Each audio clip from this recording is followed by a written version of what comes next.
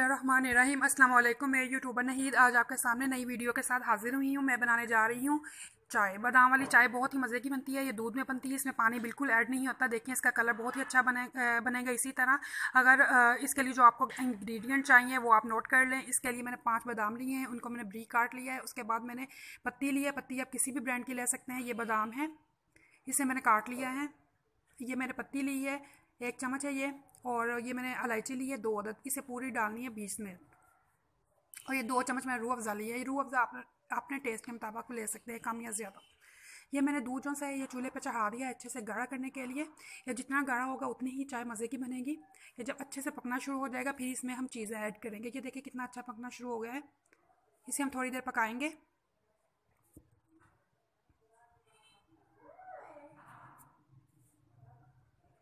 अब ये पकना शुरू हो गया है अच्छे से पक गया है अब इसमें हम सारी चीज़ें ऐड करेंगे। बादाम जो से कुछ मैंने रख ली हैं, कुछ इसमें डाल दूँगी, ताकि बादाम का जायका चाय के अंदर भी आए।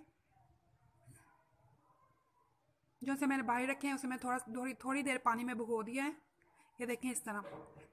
वो लोग जो बादाम जैसे बुज़ुर्ग वगैरह है, वो बादाम पूरे नहीं खा सकते। उनके लिए यही है कि चाय के अंदर डाल दिया जाए। तो वो जायका बहुत ही अच्छा इसमें चाय में आता है। ये देखिए, चाय का कलर बहुत ही अच्छा हो गया है।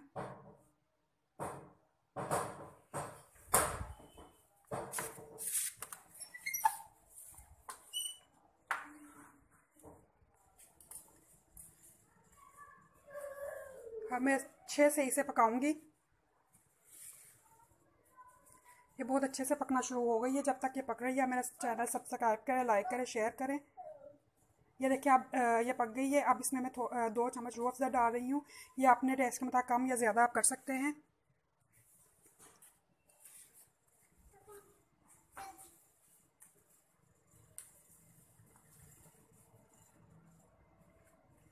देखें, ये कलर कितना अच्छा आ गया है। इसमें एक बात याद रखें, पानी नहीं बिल्कुल भी ऐड करना, जितना गाढ़ा दूध होगा, ये उतनी ही अच्छी बनेगी। इसको फिर आप मैं छान कर किसी दूसरे पैन में निकाल लूँगी, सॉस पैन में निकाल लूँगी। ये देखिए मैंने निकाल ली है अब इसे अच्छे से इसमें पकाऊँगी ताकि ये और गाढ़ी हो जाए। अब ये हमारी चाय बन के बिल्कुल तैयार है, इसे आप मैं कप्स में निकालूँगी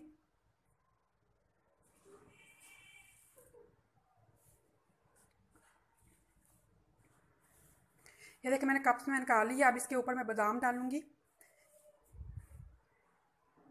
ये बादाम जो से हैं, ये भिगोए हुए हैं, नरम बादाम है इसलिए मैं दोनों के, दोनों कप्स में डाल दूँगी। ये बहुत ही टेस्टी बनती है, आप बनाएँ इंजॉय करें।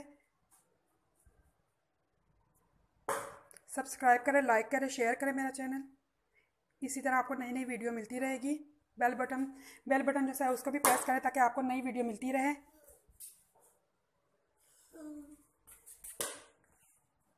मिलते हैं नई वीडियो के साथ। तब तक के लिए अल्लाह हाफिज़।